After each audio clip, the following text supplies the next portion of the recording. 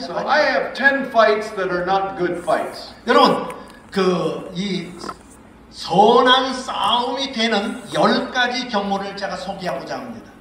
Number, number 10, it's not a good fight if it's with your husband or wife. 열 번째 그 선한 싸움은 여러분의 배우자와 함께 싸우지 않을 때입니다. It is a good fight if you don't lose a single fruit of the Spirit while having the fight. 그런데 아홉 번째는 싸우기 전 혹은 싸우는 동안 싸운 후에 성령의 아홉 가지 열매 중에 하나도 잃어버리지 않을 때입니다. It's a good fight if you can lay your head on the pillow at night and not be angry or bitter.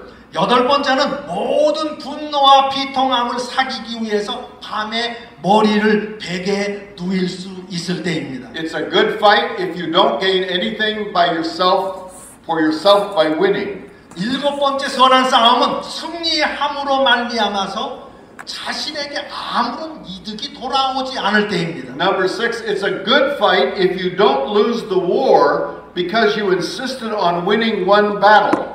여섯 번째 선한 싸움은 한 번만 이기는 것을 고집했기 때문에 전쟁이 지는 것이 아니고 Uh, number uh, five, you, it's a good fight if you can help the other person get back up. 그리고 다섯 번째 선한 싸움은 다른 사람이 일어날 수 있도록 도와주는 것입니다. Number four, it's a good fight if you fight fair even if the other person doesn't. 네 번째 선한 싸움은 상대방이 그렇지 않아도 여러분은 공정하게 싸울 때입니다. Number three, it's a good fight if you fight from principle rather than the power or prestige of your office. 세 번째 선한 싸움은 여러분의 직위와 권위와 위세가 아닌 원칙을 위해서 싸울 때입니다. If you have to throw your weight around to make yourself win, you may be overweight. 여러분이 마구 권력을 휘두르면서 그 싸움에서 이겼다 할지라도 그 시합은 그 체중이 똑같지 않은 과체중으로 싸운 결과가 될 것입니다. Number two, it's a good fight if you can get back up after being knocked down several times. 두 번째 선한 싸움은 세 차례 혹은 그 이상 넘어져도 다시 일어날 수 있을 때입니다. And finally, it's a good fight if at the end the devil hurts worse than you do.